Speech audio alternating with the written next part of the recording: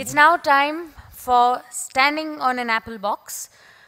Aishwarya Rajinikanth Dhanush in conversation with Sudhish Kamath. A very good afternoon uh, to all of you here. It's my absolute privilege and pleasure to be here with uh, Aishwarya Dhanush Rajinikanth uh, to talk about her book because it's not officially launched in Chennai yet. And I've read it, and it's a very sweet, simple, uh, intimate diary uh, from the Rajinikanth uh, household. And it's amazing, it's quite incredible that Aishwarya has turned it around within a year. Um, she promised that um, she would release it on his birthday, and she did. Like, she kept her word. It's, um, I've, been trying to write a book for like three years now on your dad, and um, I know how difficult it could get. So, your full respect to you on how you pulled it off. Uh, my first question to you is that where do you even begin with so many memories over the years? How do you even start? How do you know, okay, I'm going to write about this, this, this? Because there's never a shortage of uh, stories, right? So, how, where do you even begin? Very good evening to everyone present here. It's a great pleasure to be a part of the Hindu Lit Fest. Thank you, Sudhish, for doing this with me. Um, it has been very difficult to decide which should, what should come in the book and what I don't want in the book. But it's been more of a, um, I would say that, you know, pulling threads off your memory, so whichever has impacted you the most and whichever came to you as soon as you woke up in the morning or if someone asked you which is the most important memory in your life. So these are all the memories and experiences that came just out immediately. So I thought that's what we need to jot down. Um, I was just telling you that, you know, it feels like reading someone's diary. It seemed very personal, very candid, because it's also about everyday observations of, uh, of life. So, did you, did you, were you in the habit of writing diaries? And if yes, how much of those entries from the diaries actually helped to define this book, what ultimately ended with this book? I was I used to keep a diary very very regularly all through my life but I was not careful to preserve them if I had ever known that I was going to write a book I think I would have been more careful with my diaries and it would have helped me so much more today but uh, I think it's also good in a way that uh, then I would have really been really confused as to what needs to come in the book and not and because there's been so much that's happened and it's all been memorable and important in their own way and um, I think it's um, good that I didn't preserve my diaries. And uh, obviously today I don't write any diaries. I mean, I first of all don't have the time and I don't think do you, it's do safe you have at like all. a personal blog or something? No, no, I don't. I mean, um, I am not very uh, comfortable with the key, the laptop. I like to write, and I like to write with pencil. I don't know why that is. So it's just that I'm not. Uh, I don't see myself as a blogger anytime. Um, but when it comes to a diary thing, now a diary needs to be candid, right? It needs to be extremely honest. So did you have to actually watch out on, now this is not exactly a diary, this you're sharing it with the rest of the world.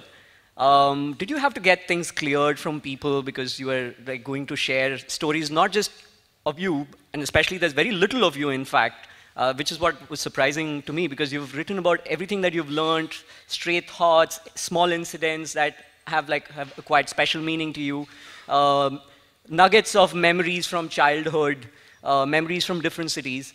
Um, so I want to understand what, how much of this was like actually censored and how much of it was like, okay, uh, diplomatic, you know, I can't talk about that, I can't talk about this. Did a process of elimination ultimately shape this book? The first thing I was very clear that I should not do is until the book comes out, not to share it with anyone. Because if I had shared it, I don't think most of it would have come. So I did not want to share it first with my dad, uh, primarily. And uh, second was my husband. So I wanted to, whenever they asked me, my husband was not, in fact, um, you know, he took it too lightly. He said, "Okay, you're writing a book. Yeah, right. We'll see when it comes. You know, we'll we'll take it, we'll take it up then." But um, I think it was important that I wrote straight from my heart, and uh, it was very nice of the publishers to understand that because generally there is this back and forth of, uh, you know, the edit and the draft, and you keep going uh, back and forth to make it better, enhance it. But this was not about uh, proving what good an author I am, or uh, do I have language skills, or how well do I know my dictionary. No, this was not about that. This was more about what came straight from the heart, and I knew that my book would be picked up by people from all walks of lives. And in fact, it would even be a person in a nine to five job, it would be a lawyer, it could be a doctor, because everybody would, whoever is going to pick up the book are people who want to know my life, my family's life, who have this great adulation and unconditional love for my family and my father. So it had to be easy to read, one, it had to be simple. So, and I did not really want anyone's opinion with regard to this because more so when you said it's it looks and reads like a diary. So i think that's the most important thing. Diaries are not meant to be corrected or diaries are not meant to be written rewritten. So i think that's what i've made sure i've kept to. Um, at which point did you decide on the this, this structure? Okay because it's one of the um, uh, one of the uh, books which is most easy to read. Like you know it's um, it was a breeze. Um, and that's probably because every chapter is like two or three pages. So it's very quick to read. At which point did you decide that that's going to be the structure? So it's got like 35 different chapters, all really short. No, I think I did not want it to be long. And um, the memories that and the experiences I, I was talking about did, did not have to be long. I did not have to uh, work too much on the description. I did not have to work too much on the person's detailing because most of it, uh, people are the people who people relate with, people know already. So I really did not have a reason to make it long. And I thought that when you have smaller chapters, the smaller, the faster and easier it's for people to read. And you know, when they get done with the chapter, there is something absolutely new and totally different from what you've read just in the previous page. So that makes it um, even more easier on the reader, I thought. Um, is that, do you prefer shorter chapters when you're a reader, when you read books? Definitely. I think, you know, today your attention and concentration span has become so less and you just want to get done with things. Everything is moving fast. There's a pace, and the pace has increased uh, every minute, even whether with regard to movies or with regard to books, even when you're narrating a script, even when you're explaining a small thing that's happening in your life, people want you to get done with it as soon as possible. They're like, okay, now you've told me this, now get on with it, get on with what you want to say. So I think it's important that, you know, brevity is very, very important. Um, uh, with TV, quite the opposite is happening because uh, TV shows have become more serialized and books are becoming more um, uh, episodic that I notice. Uh, because uh, in TV, they don't want you to lose attention at any point and they want you to just keep watching more and more and more of the show. Uh, so it's quite a brave thing for you to say, be fully confident and say, hey, it's okay if you don't have to read my whole book today. Read a couple of chapters, come back to it, and read the rest later seems to be the way you've gone about yeah i think that's it's more important when someone tells me that your book was like a breeze rather than saying yeah i get what you're trying to say but when are you going to finish? So i think it's more important that i hold on to people's attention span and you know finish before they say okay she could have given a little more. I think that's how i wanted it to be. Um, have you um, tried reading any of the other books, cinema related or um, connected to your dad? Because there have been quite a few books on your dad, on superstar Rajinikanth before, uh, uh, that have come out. Um, and some of them are like fanboy narratives, right? So Most of them. Yes. Everything is superstar, Talaiva, and so on. Um, so I wanted to know, and here it's, it's a refreshing change to see none of that in this, and it's it's a very human side that we see of the superstar, you know, something which we've not uh, read before. So um, was this like a conscious decision? Because you do hero worship him yourself, don't you? Yes, of course. And uh, with all due respect to all the people who have written fanboy narratives, I'm sure that it's been out of sheer love and unconditional respect that you have for the person. But um, if I did the same, then I wouldn't stand apart. And I did not see a reason for me to do that. And also, I think it would have been too cliche. And you can't blow your own trumpet after a point. It's really annoying.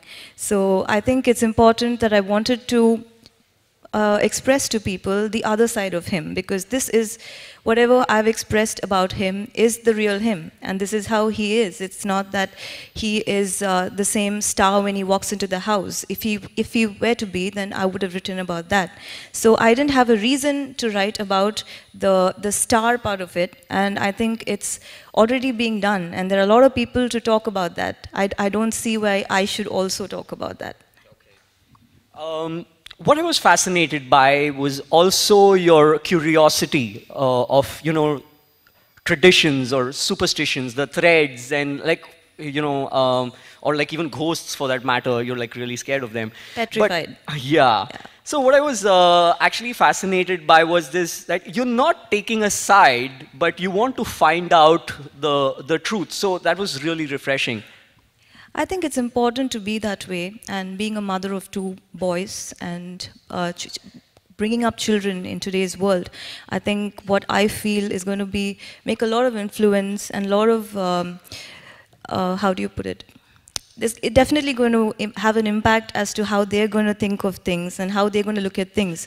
So it is important not to be someone who um, is very forced about what they think.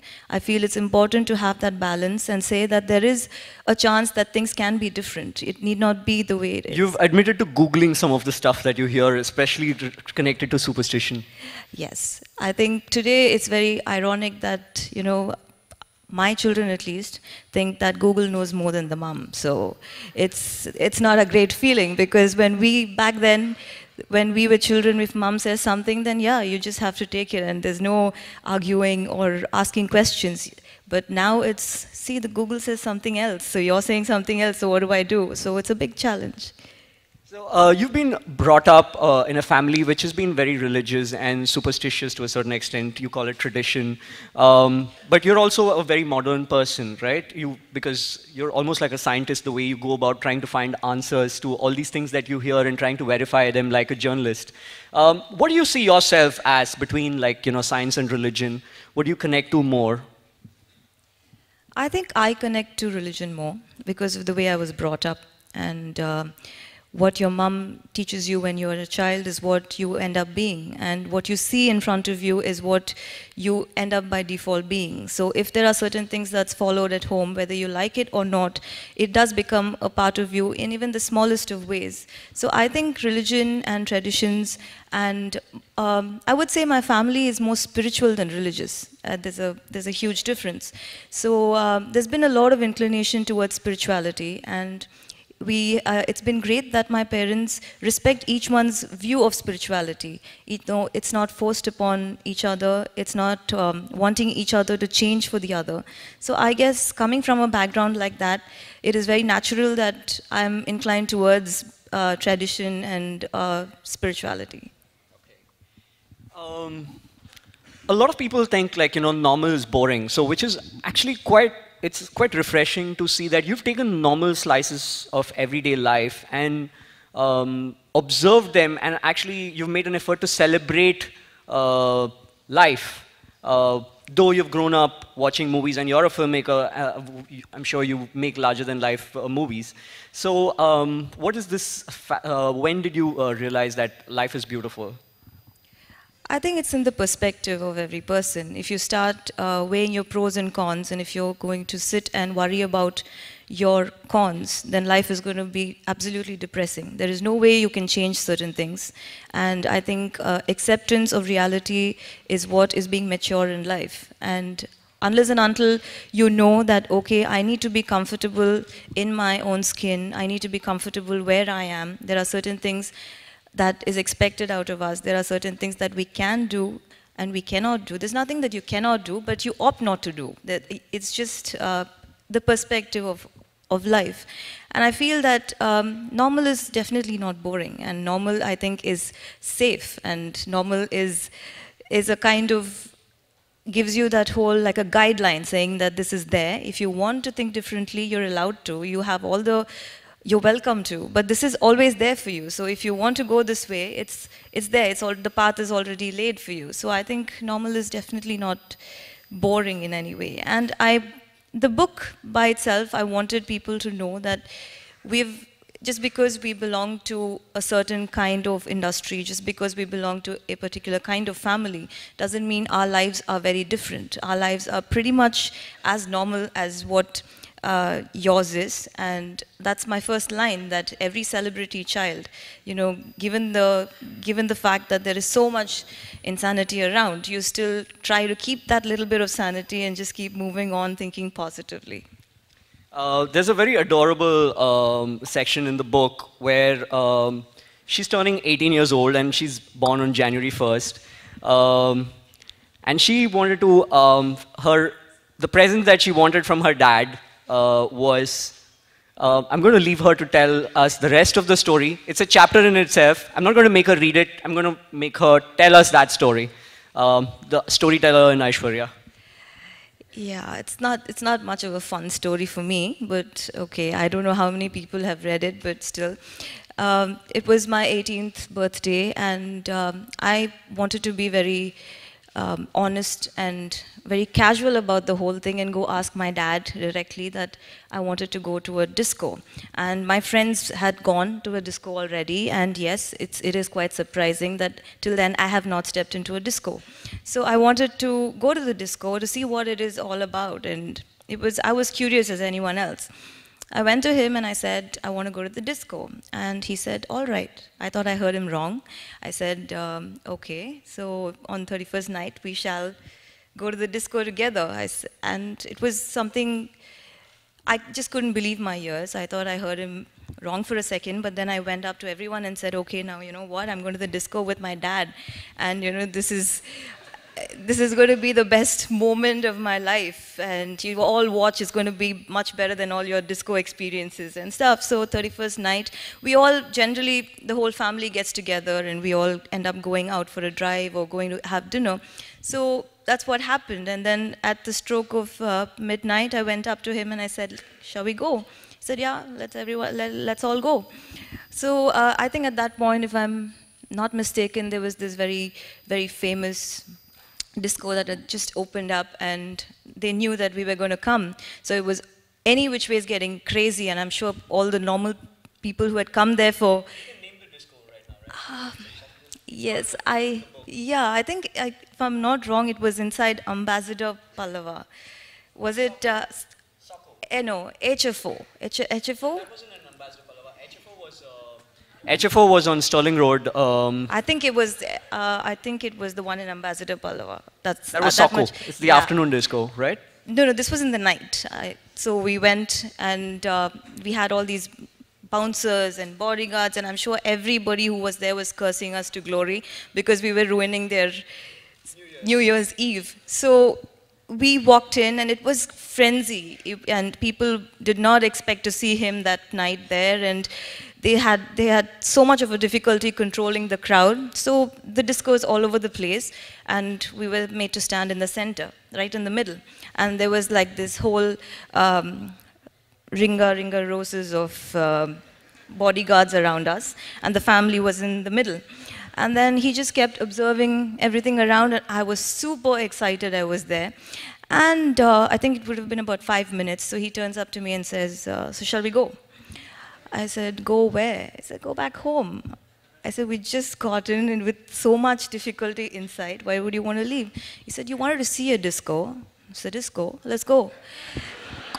And I did really did not know what to say. I was angry and I was upset and I was welling up and I didn't know. But that was it. We just got into the car and we came back. So I don't think anyone else could have a better disco memory in their lives. I can dare them. Now, um, Aishwarya, reading the book, I'm getting the impression that you were such a good girl, such an innocent, good girl who'd never been to a disco until you're 18 years old. So, did you ever go to a disco after that, or you were always a good girl? Do you want to tell everyone that you were a really nice girl? Why is that so hard to believe? Why? but yeah, I, I literally started hating the disco after that because it was not a great experience. so, and I really, really don't see, I don't enjoy my, I don't enjoy a disco because I feel that you get dressed up, you want to go out with friends, and you pay triple the amount just to scream into each other's ears to hear each other. So I don't see, I don't see myself enjoying it. So I, no, I don't, I didn't want to go, but if I would have been a girl who wanted to go, then I think my parents would have had serious problems. Yeah. So uh, it's I get the feeling that at some level that you were like brought up like a princess, right? Like this whole story, this could just apply to a king who wanted to take his daughter to the thing, and everyone's like looking at it. And their New Year was made uh, with you uh, being there. And um, in this chapter called Tough Love, uh, you've written that Selva um, refers to you as um, someone who has never ever seen hardship.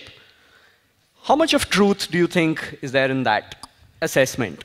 Again, I think it's very relative. Uh, depends on what you think hardship is and um, what is your concept of hardship. Um, for me, I think it was uh, definitely not easy because it was such a protected life. Everything you did had to be asked, everything you did was noted, everything you did was noticed. There was a lot of pressure that you, you cannot go wrong, and there would be criticism, and you have to be nearly perfect. So it was not, I think that is hardship for me, which most people uh, understandably may not relate with. It's all right. But um, it's not just about not having things in life, which is hardship. It's also about not being able to do, do certain things even if you have everything. Like when you see people, it's not wrong if they feel, oh, you're sitting there and, you know, what can you not have? There is a lot that we don't have, which uh, is difficult to explain. And um, I always feel that when you're all the time noted and all the time seen, you get very conscious about what you do. And that kind of changes your personality through the years. So um, I would not agree with Selva that, you know, I, I have not faced any difficulties. But uh, coming from where he came, I do not blame him for thinking the way he thought. And that made him uh, make me even more tough, which helped in the long run and which helped in me when I made, the, when I made films, when I got into a set to make my own film. So I guess uh, the way he thought did help, help me, uh, and it helped him teach what he wanted me to learn, being in the film industry. So um, I think that's hardships, and the biggest hardship is that uh, my mom was a was literally a CCTV.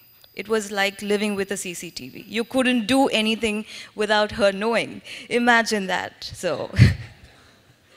Now, um, the book also, you talk, uh, there was a little bit of angst about not being able to do law for a while. And um, it's amazing how honest you've been about the angst of, uh, uh, like, you know, like trying, trying again and trying and never giving up about it.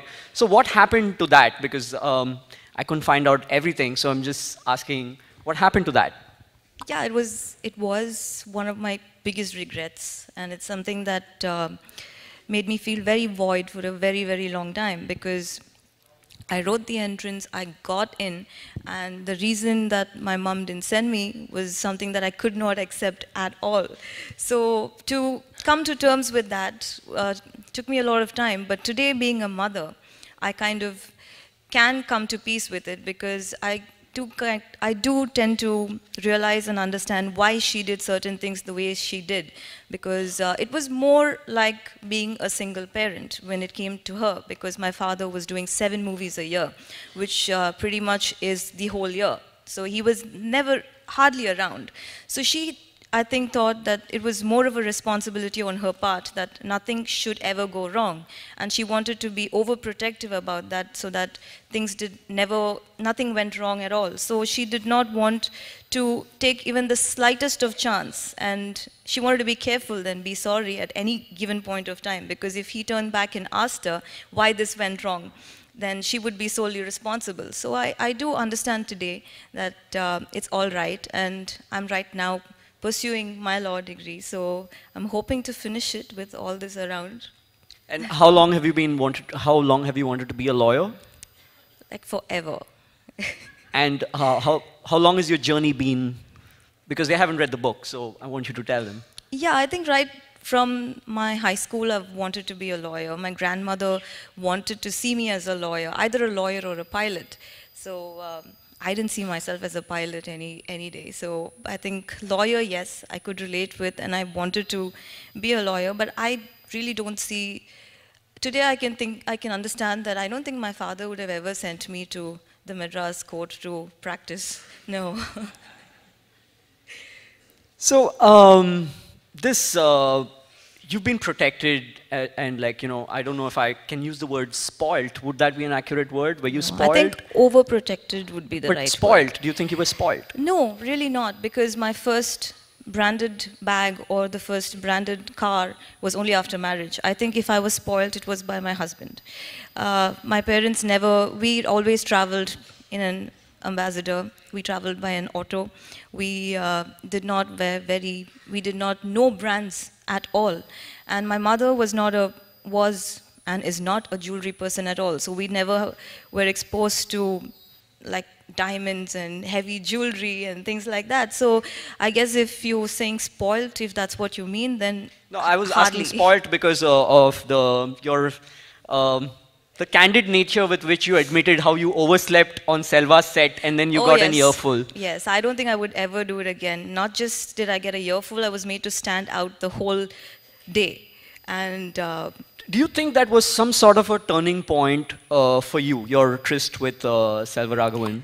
Yeah, I think Selva has made a huge impact in my life. Impact, rather than impact, I think influence would be the right word. Because the way I um, walk into a set, the way I look at myself in a set, the way I look at movies in a set, the way how I want to see uh, a frame, I think everything is what uh, I've learned from Selva. And it's just that you, it, you can work with any number of people, but there, I think only who you connect with and who impact you is what makes the difference. You can work all your life with how many ever people you want, but there are certain people who connect with certain people. Connection happens only with certain people. So I guess I was lucky to have someone like Selva at that point of time in my life. Uh, I was actually surprised you've written that, that you owned up to wanting to slap him. Oh yes, I do. I still do.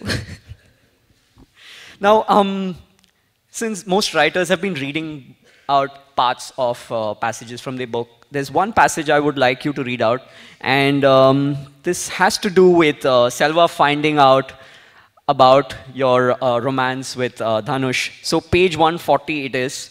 Um, one afternoon while they were together in a car. From there. okay, I'm going to read out just a little bit because Okay. it's pretty much a No, no, thin just book. the so. just, just till the punchline. Here, this is okay. Oh, what do they- okay. One afternoon, while they were together in a car, Dhanush's phone rang and he picked it up. Selva announced that he wanted to say hello to the girl who had captured his brother's heart. Dhanush asked me if it was okay, and I said yes. He passed the phone to his brother. Selva, hi. Me, hi. Selva, so how are you doing? Me, I'm good, thank you. And you? Selva, yeah, fine. So, what's your name? Me, Aishwarya. Selva, hmm, just Aishwarya. No Rai, Rajinikanth. Me, Rajinikanth actually. There was a silence for a moment.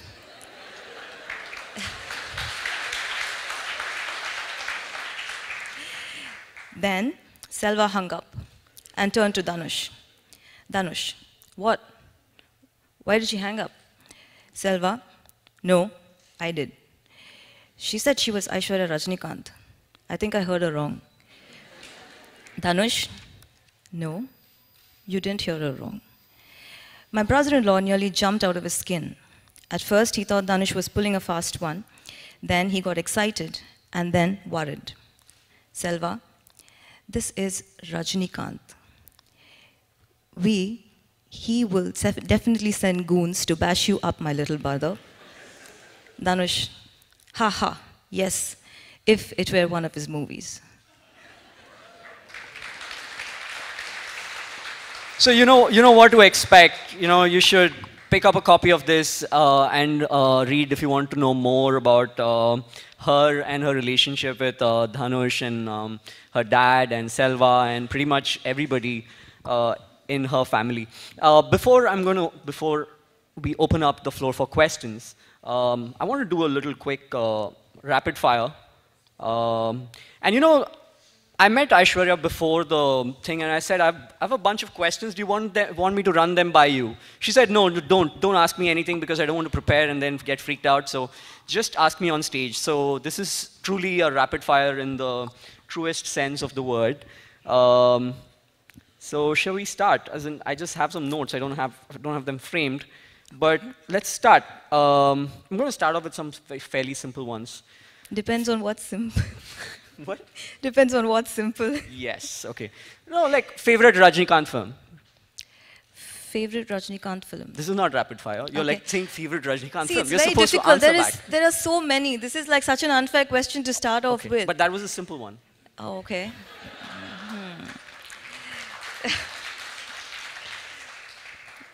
I would say Tilumula, Okay. Favorite Dhanush film.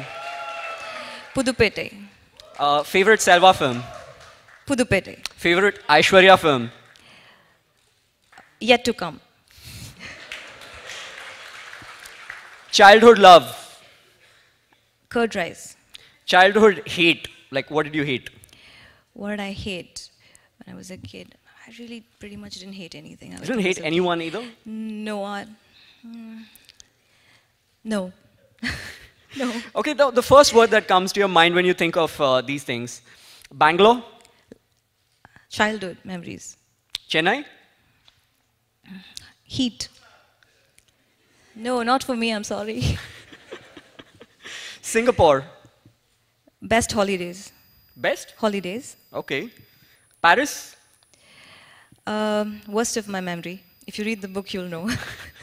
true that. Um, you don't want to tell them? ah, no. No.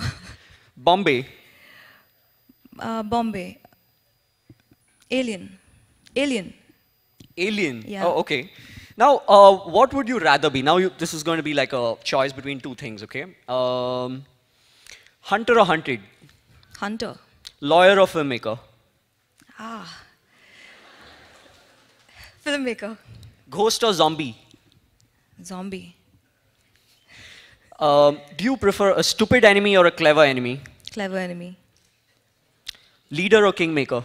Kingmaker. Oh, thank you.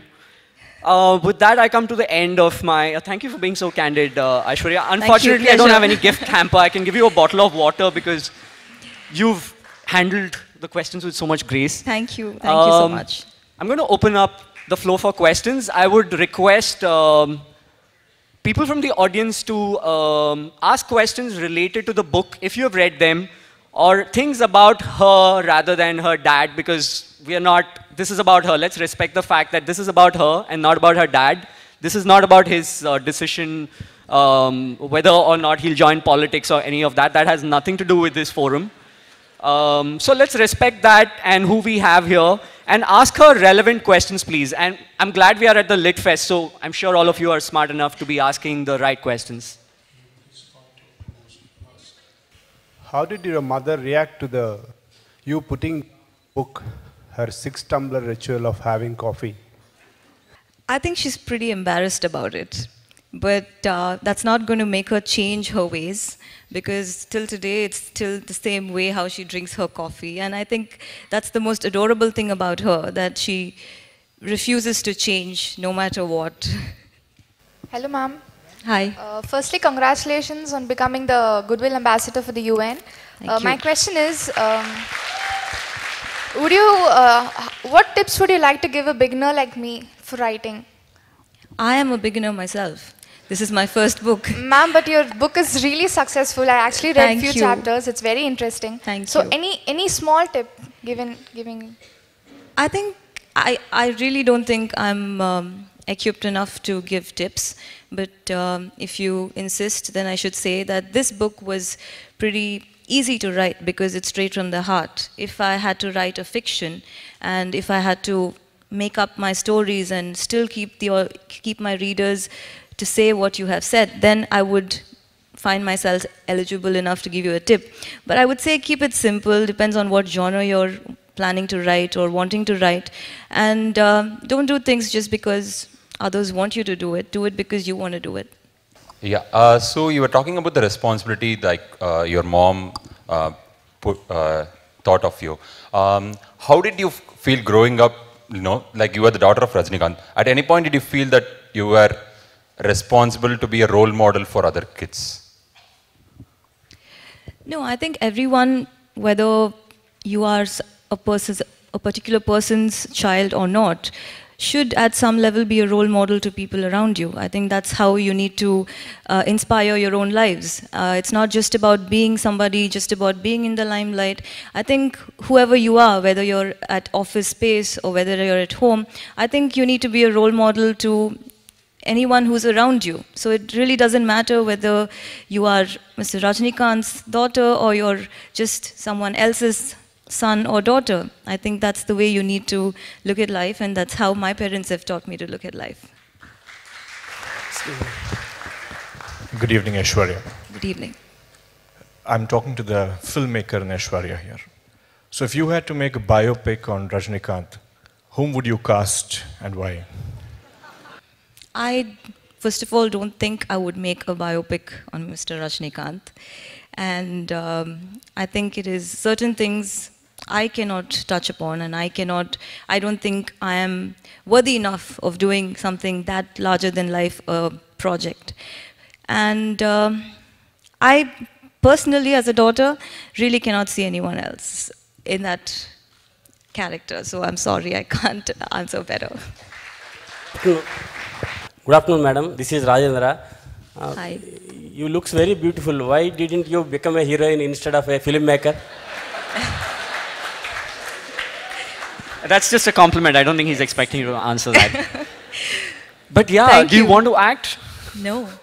No, I have great respect for um, actresses because in the past one month I've been doing this whole book tour and uh, I do not think I can make up and dress up and do this every day. It's just not me and it, it is a lot of pressure. You just cannot look good all the time. It, it takes a lot of effort and I have so much respect for them for doing what they do. I just don't see myself doing that at all.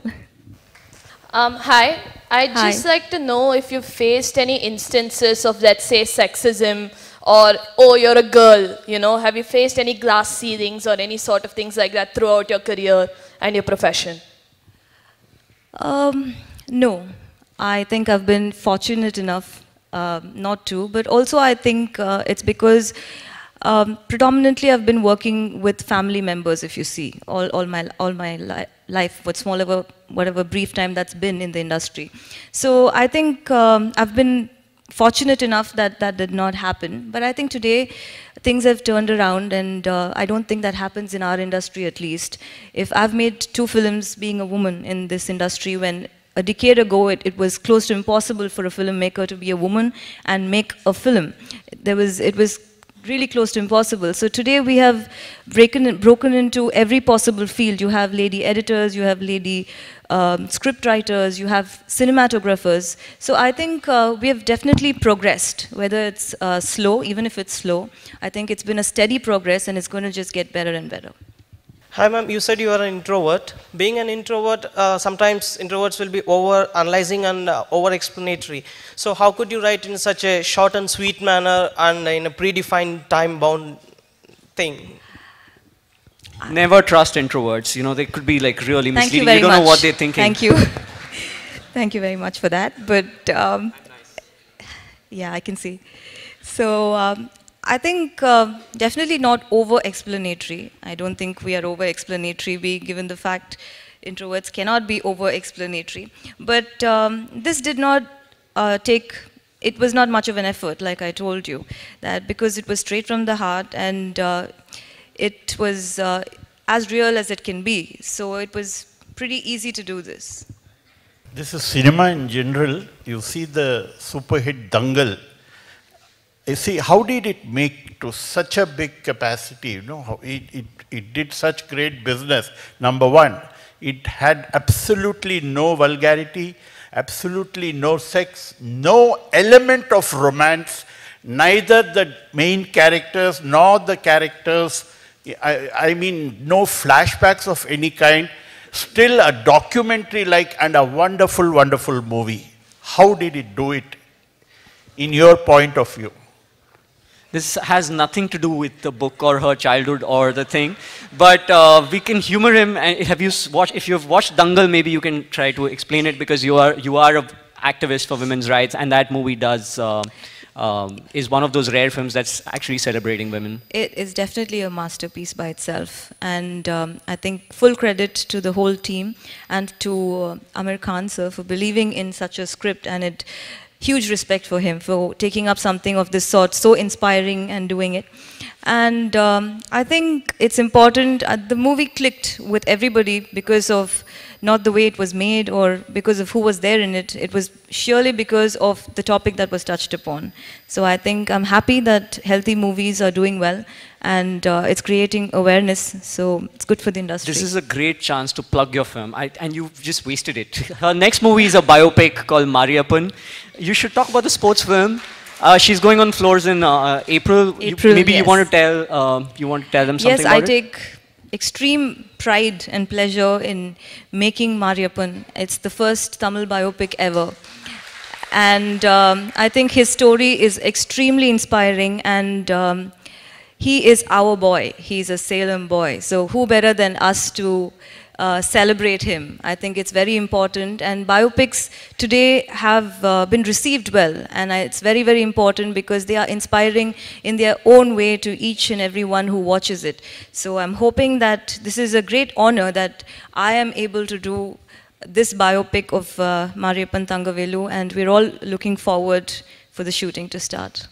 Do, um, another note, like there's so many people who have to ask, who want to ask questions.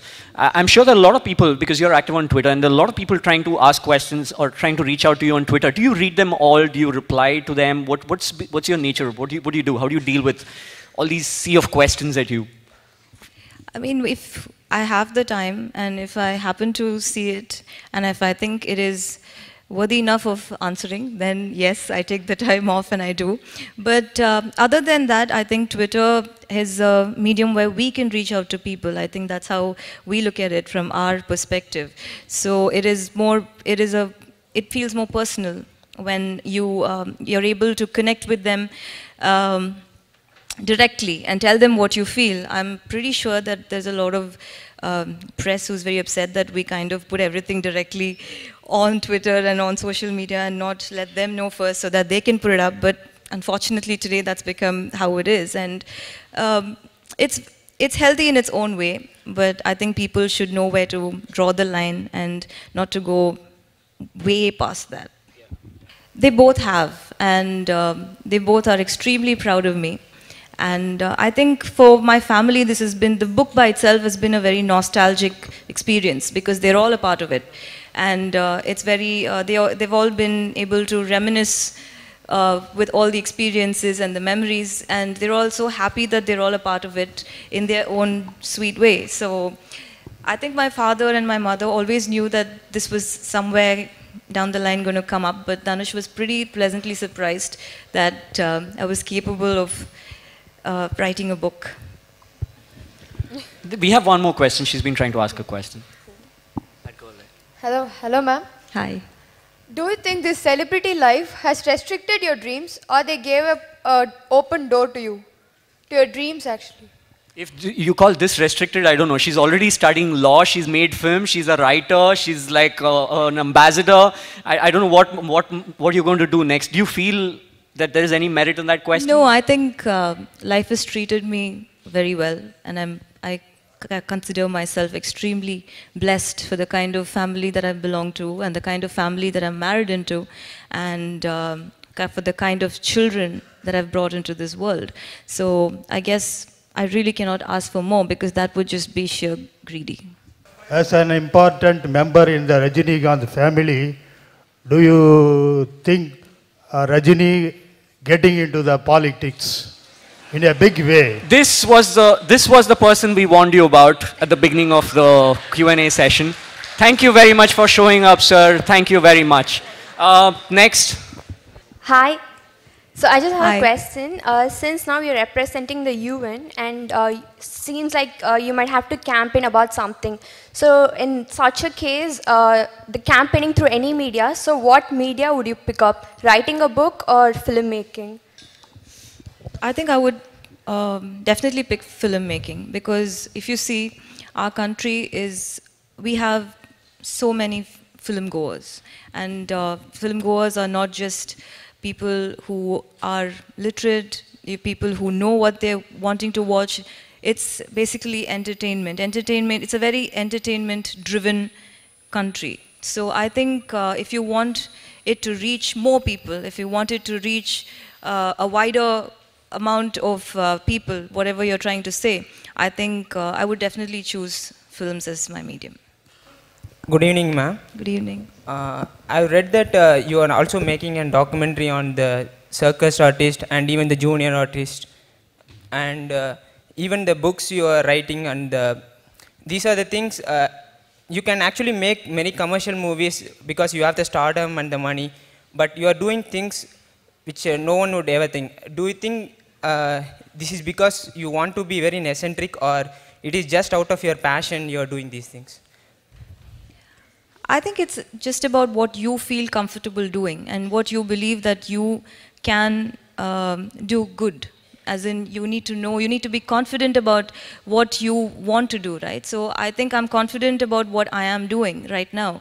And um, it's not about circus artists. I just would like to differ. It's more about uh, junior artists. Right now, it's Cinema Veeran is, is a three-part documentary that I'm working on. And the first one has been on stuntmen in the industry. And the second part is going to be on junior artists in the industry. And the third about background dancers. So so these are the three most important fields in, the, in, in our industry.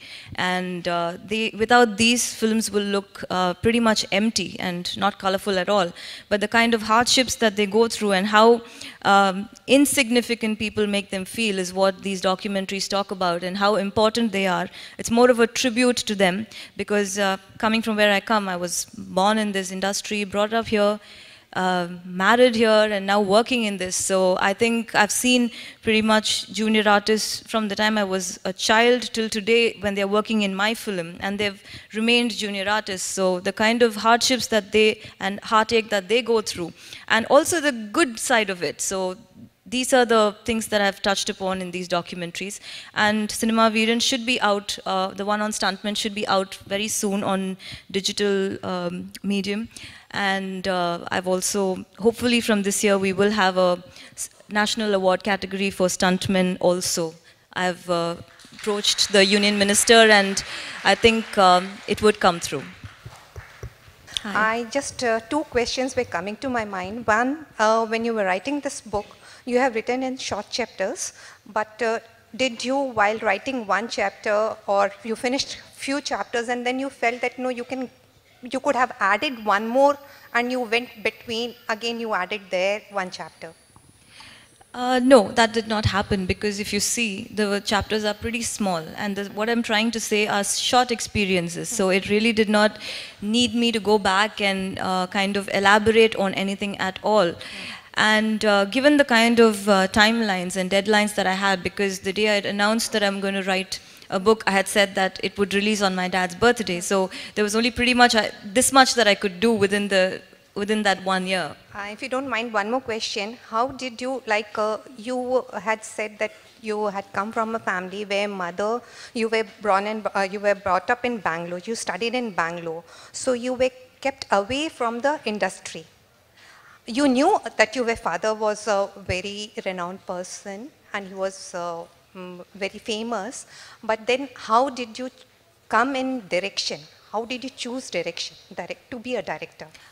I strongly believe in destiny, and wherever each one um, needs to end up, I think some way or the other you would pretty much end up there. So I think this is where I was meant to end up, and I'm here. We have a question. Uh, hey, uh, I'm sorry to contradict what you uh, said earlier about how you hadn't faced sexism. But uh, just just an observation from the questions you've been receiving about how I mean a lot of questions have been about how your dad reacted and how Dhanush reacted and all that. Don't you think that's some form of sexism itself? Not really. I think it's very genuine and uh, it's very natural for everyone, given the fact that they have so much love and affection for them. I think it's more um, on the lines of how much love they have for the person. It's not just to make me feel the way you about as how you're saying it. So I think it's very, um, at least I'm going to look at it in a way that it's just out of sheer love that the questions were posted to me. Um, before we take the next question, I, I think a lot of people uh, don't know what an Apple box is. So ca- uh, can you just uh, share with them why you called the book Standing on an Apple Box? Uh, that's the first chapter in the book, in fact.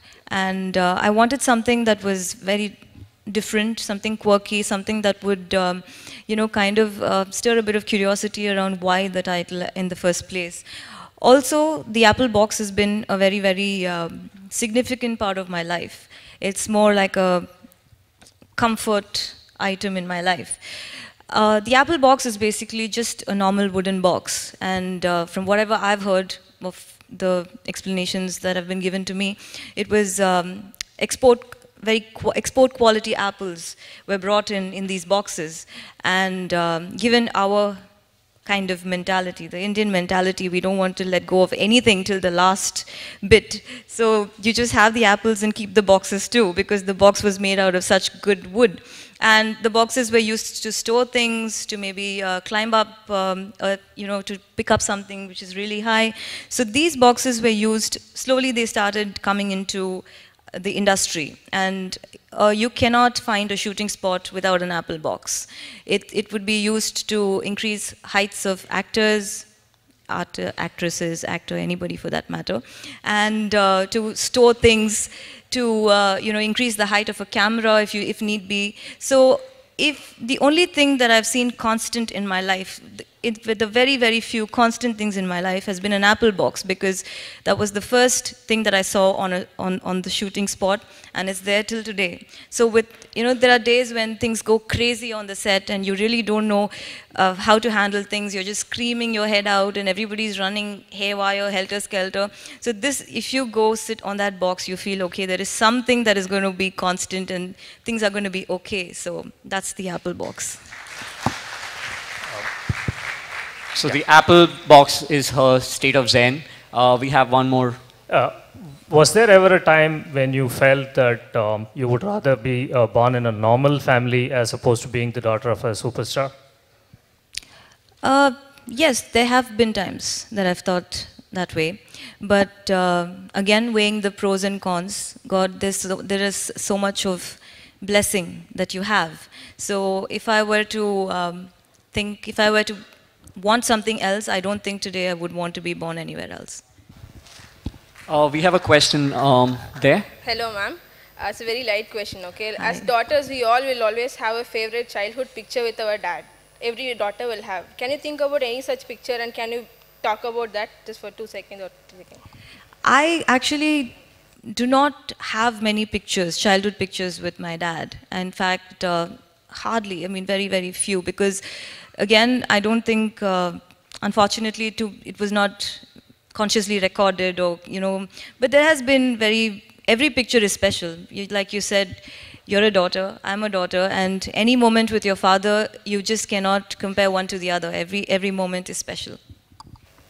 Hello, Uh, we, ma'am. we just have like three minutes left, so we'll take a couple of more questions. Yes. Hello, ma'am. Hi. Every mom has plans for the kids. You have two beautiful children, so do you have any plans for them as well? No, I don't.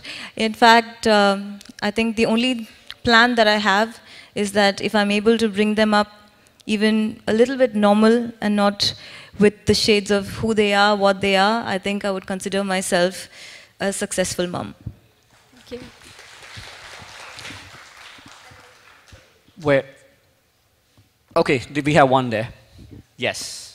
I'm a teacher by profession and also, I mean, starting to do some writing here with Oxford. But my question is like, your humility is part of your family trait. It descends from your dad, and I think I can just see you here. And uh, I think Mr. Dhanush is also a man of such humility. How is it, what is the message from your side to the teachers and to the writers, or even to the parents over here who can I mean, what's the message that humility will be part or it could be integrated as part of their learning skills? uh, in Tamil Nadu or any part of India so that children are brought up, you know, with better, as better citizens of the world? I have great, great respect for teachers, and uh, I would not want to advise teachers because uh, it would be very disrespectful to advise teachers. And um, I feel if humility was taught to me, I could tell you how to teach it. It was not taught, it was more that you see it when you grow up and you just think that this is the only way to be. If your parents are a way they are, if they treat certain people the way they do, if they treat everyone equally, you just think that is the way to be. So I think, um, thank you if you think we're humble and uh, I feel it was not taught, it was just uh, imbibed through the years. We have, we'll take, we'll take one last question because we are almost out of time. Yes? Hello, ma'am. Hi. Uh, for us, cinema has been Rajinikanth. But in your first movie, Three, you had a huge star in the form of Dhanush. You had a super hit song. But yet, there was a lot of scope for performance, and you had more of performance than the commercial content in it. Was it an influence of Selvaraghavan sir, or was it a point to prove that even you, ha- you knew cinema beyond Rajinikanth? Um, incidentally, the book, the only part that the book doesn't deal with is her life as a director because she's just focused on every everyone else around her because it's her POV and the camera is not on her. So maybe you can answer this as the last question. It's probably the fitting end. I definitely don't know cinema more than Rajinikanth. That would be foolish on my part to say if I did. And um, three, definitely I would say there was a lot of influence of Selvaraghavan because you tend to, that tends to, it happens. You know, when you see uh, school, you know that this is, there would be a particular way of uh, showing characters, a particular way, a tone that they follow. So I guess um, there is a lot of Selvaraghavan, the filmmaker, in me. So um, that's a compliment. I think I'm going to hold on to that because uh, it is important to hold on to that. Uh, so I think um, it was something, it was not conscious. I think whatever came was natural and it just happened. Uh, thank you, thank you, everyone. Thank you so much, Aishwarya, for being so candid, Thank for you. sharing um, the experience of writing this book and parts of your life Oh, with all of us here. Thank you all so She's going to be around for a book signing session. You've been a great audience. Thank you so much. And let's have a round of applause for Aishwarya. She is truly inspiring. Thank you very much.